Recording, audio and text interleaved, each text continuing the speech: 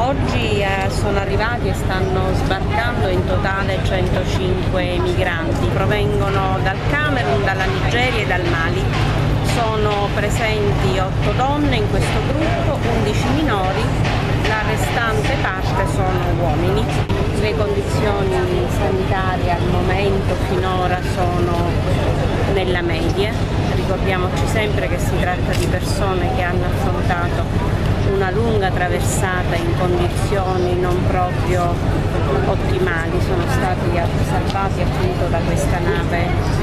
mercantile e eh, che certo prima di imbarcarsi hanno alle loro spalle una storia che è fatta di privazioni, di sofferenze, di tutto quello che nel tempo abbiamo imparato a connotare i lunghi periodi di permanenza prima appunto di salire sul barcone. Verranno sistemati secondo lo schema che abbiamo adottato ormai da mesi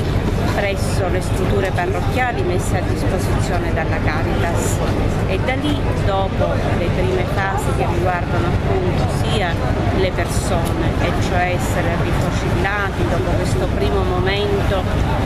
in banchina dove facciamo sempre trovare eh, un sacchetto con dei primi viveri, dicevo verranno rifocillati, potranno dei servizi igienici e quindi avere anche un cambio di vestiario, poi nei prossimi giorni saranno avviati presso le strutture che esistono in provincia.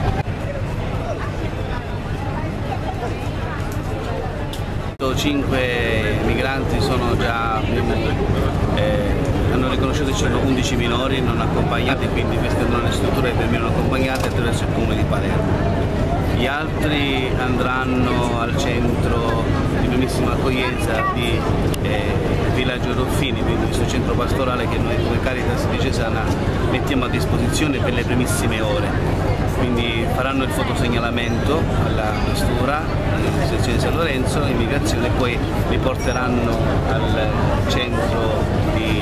Villaggio Ruffino e credo che già da domani eh, verranno eh, trasferiti nei CPA, ci sono già, sappiamo benissimo che anche per la Caritas di Cesana ma anche altri CPA sono a disposizione e quindi credo che andranno smistati entro domani, verranno trasferiti nei centri di prima accoglienza. Abbiamo, chiesto di accogliere questi nostri fratelli migranti. Certamente ecco, il, il peso, la stanchezza di quattro mesi di